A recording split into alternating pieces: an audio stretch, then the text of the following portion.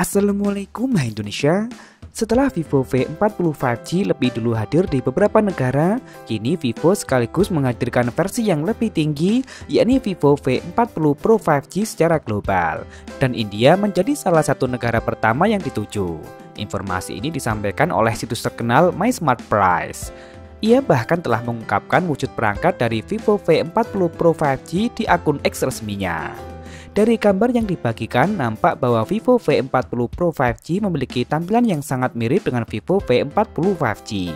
Vivo V40 Pro 5G nampak tetap mempertahankan back cover yang dibuat sedikit curve atau melengkung di sisi kanan kiri untuk kenyamanan saat digenggam.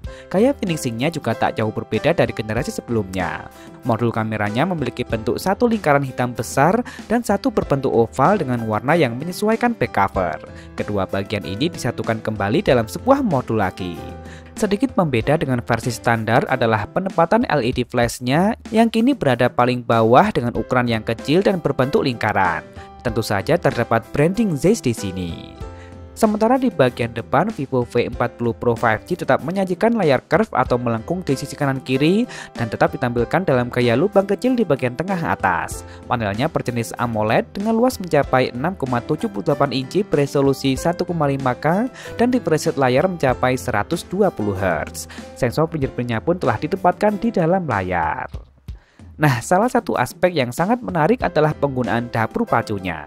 Yap, berdasarkan data Geekbench, Vivo V40 Pro 5G disebut menggunakan SoC kelas atas dari MediaTek, yakni Dimensity 9200 Plus, yang juga sudah terbuat dengan fabrikasi 4 nanometer.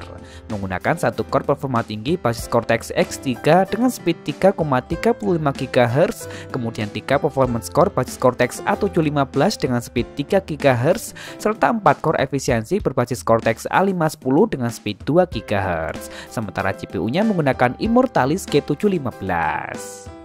Lanjut pada bagian kamera, Vivo V40 Pro 5G mengusung tiga kamera belakang dengan kamera utama beresolusi 50 megapiksel dengan menggunakan sensor Sony IMX921. Kamera ini tentu saja telah dibekali dengan stabilisasi berbasis OIS. Sementara kamera lainnya adalah kamera ultrawide beresolusi 50 megapiksel dan satu kamera lagi adalah kamera telefoto untuk potret yang juga beresolusi 50 megapiksel sensor Sony IMX816 dengan kemampuan dua kali optical zoom. Untuk kebutuhan selfie tetap beresolusi 50 megapiksel autofocus dengan sensor Samsung JN1.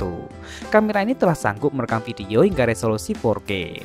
Yang paling spesial, kamera ini tetap dibekali dengan branding Zeiss dengan segala fitur khususnya. Di bagian daya, Vivo V40 Pro 5G ditopang oleh baterai berkapasitas besar mencapai 5500 mAh, lengkap dengan teknologi pengisian berdaya maksimal hingga 80 Watt. Vivo V40 Pro 5G juga sudah menggunakan dual speaker stereo dan bahkan smartphone ini sudah memiliki sertifikasi IP68 dan IP69K. Begitu pula dengan NFC, Ear Blaster, namun jack audio tetap tak disematkan. Sayang meski posternya juga sudah banyak beredar di internet, statusnya masih coming soon. Belum diketahui pula berapa kisaran bandol harganya. Kita tunggu saja. Nah, jadi bagaimana menurut kalian dengan tampilan dan spesifikasi yang ditawarkan? Kira-kira berapa ya harga yang pas untuk Vivo V40 Pro 5G ini saat diresmikan di pasar Indonesia nantinya? Langsung tulis saja di kolom komentar, like dan share jika kalian suka dengan video ini. Jangan lupa subscribe dan nyalakan notifikasi untuk update informasi terkini tentang percaya seputar teknologi. Follow juga akun Instagram kami di @beritatekno_id.